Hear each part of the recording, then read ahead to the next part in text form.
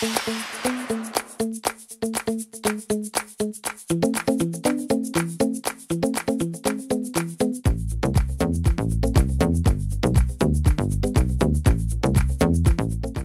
for something new and completely different.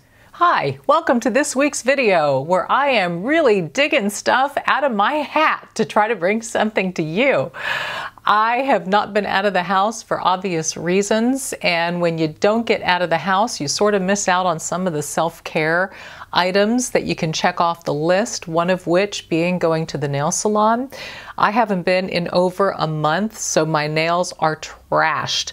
The gel that I had on previously, you know, when they start lifting in the corners and it peels and then it becomes a full time obsession of peeling them completely off until they're gone. So I got to that part and then I buffed them and I put on a clear coat and called it a day. And then I realized that there are so many new glue on nail options these days. Do you remember the old Lee press on nail commercial? With these Lee press on nails, you too can have salon tip finishes right in your own home.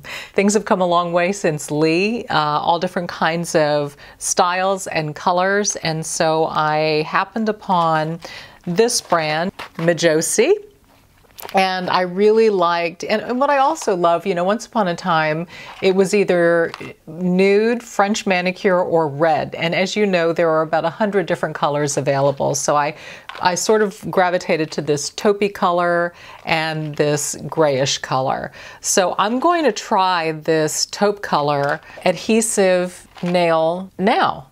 And I've never done this before. I have never done glue on, press on nails. So we're going to kind of go through this step by step together. Today's Tuesday. The video will air on Thursday. I'm only going to have two days to be able to show you how they're wearing and if they've lifted off. But it says you can wear them for seven days and beyond. And it says if you want to remove them, you just soak them in warm water after seven days, and then they start to lift, and then you can have that wonderful peeling experience that I so seem to enjoy myself. All right, so let's get to it. I am going to open up this pack. We will walk through step by step how this works. Ah! Okay, so let's first read the instructions. Step one, choose the best size nail to your finger and set aside in order. Step two, wipe each nail using the alcohol wipe provided before applying. Step three, Apply a thin layer of glue to the back of the glue on nails and your natural nail. Step 4. Starting at cuticle, press on firmly, hold for about 15 seconds until dry. Step 5. File the nail if necessary. Caution, warning, warning, do not apply to weak, damaged, or infected nails. Okay, I, I, do not have either. So the first thing that I have to do is figure out which nail size is going to fit my nail. And they say to always go on the smaller side. No, nails are going everywhere. Hold on. Kind of sticking to the lid. Look at that. What the heck? That is so weird. Do you see that? I'm kind of close. All right, pinky, pinky. What is that a pinky too? Oh, I don't know. Maybe that one fits. No, that's too wide. That's too wide. That's what they were saying. Be careful. Next size, ring finger. That's a little small. Let's try that one. That looks like it fits. I've got little nails is what I'm discovering here. Very little nails. And there they are. So now that the nails are selected, I've got two options. You can either use these adhesives that come like so to stick, or you can do the glue. And I'm going to, because it can't have any lotion, potion, or anything that will prevent the glue from adhering to the nail. Mine and the press-on nail. Okay, so that's done. Okay, so here we go. Got the glue. I guess I'll start on my left hand since I'm a righty. All right, it doesn't say anywhere to snip the top of this, but I'm not seeing how the glue is going to come out if I don't. So I'm going to give that a try. Aha, I see glue. Okay, let's get going. Thin layer. Yep, there it comes.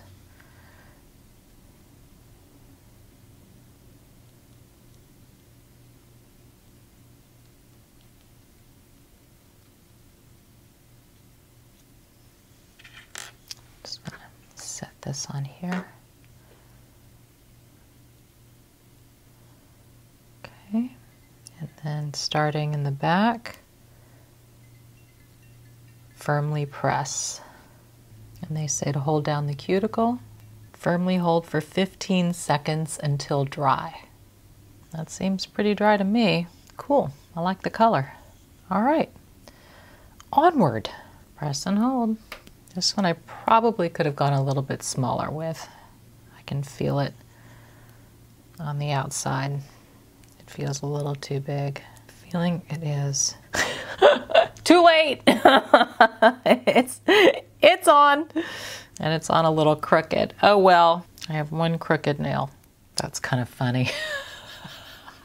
it's kind of far for the course, if you ask me. Okay, whatever. To make sure this next one is a good fit. And it is. Now I'm paranoid about making it straight after that last experience. One hand done. Nails are on. Although this is an epic fail. Why? Because I put them on backwards. Except for one. How do I know that? because I thought I was doing this one backwards, but I was wondering why it was looking so hard right here at the cuticle line and not like it was blending in until I realized that that was supposed to be at the end and this softer part that kind of arcs in is supposed to go at the cuticle, like this one, like that one. That's correct. Those are incorrect. So now what? This is so sad because this is a product that I think actually works, except I totally messed it up. I told you I've never done these before. Um, I don't know, I guess at this stage I just, I file them and shape them and deal with them until I soak them off and try again. I'm such a moron. Okay, you knew I'd find a way. I'm getting crafty. As I'm filing these nails down, I'm also filing just a tiny, tiny bit here in the nail bed. See, like so? And just bringing it down a little bit to eliminate that hard line because I put them on backwards. Normally you would not have to do this, but it is definitely helping to smooth it and flatten it out a little bit and making it much more natural looking. Now check this out, the crooked one that I did, I'm gonna file this sucker to look like it's normal. Okay, that helped.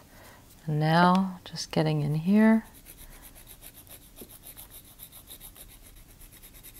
Like I said, you would not have to do this normally, but in my case, it's taking care of my mistake.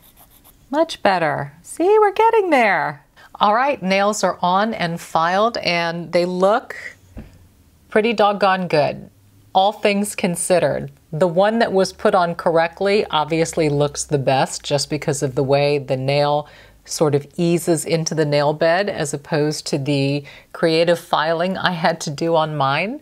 But overall, I'm just going to chalk it up to residual COVID brain fog that led to this little mishap. It is not product error, it is human error. but I think they're really pretty and and very cool. Uh, they were easy to put on once I figured out what I was doing.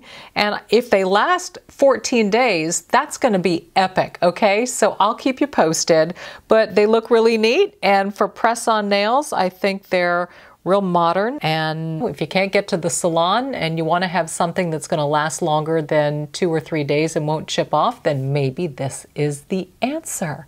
If there's anything else you'd like me to try or demo, let me know. Leave it below. And I look forward to seeing what you come up with. But this was a shall we say, interesting creative process. Go out, be bold, be blessed. I hope you nail it, and I'll see you next Thursday at 1 o'clock. Bye.